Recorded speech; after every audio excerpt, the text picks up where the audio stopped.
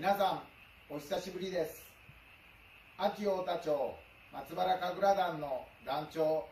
斉藤です。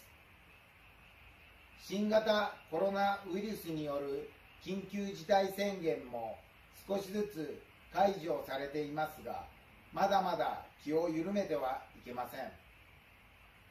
常にウイルス感染のリスクと背中合わせの治療など感染拡大防止活動に従事し私たちの命を支えてくださっている医療介護関係者最前線の現場で働く方々に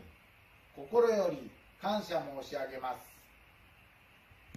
また神楽ファン神楽関係者の皆様には日頃より温かいご声援ご協力をいただきありがとうございます。新型コロナウイルスの影響により公演奉納の中止が続いておりとても寂しい思いをされていると思います。私たち団員も同じ思いです。だんだんと収束してきていますが気を緩めずうがいや手洗いを行い感染防止に努めていきましょう。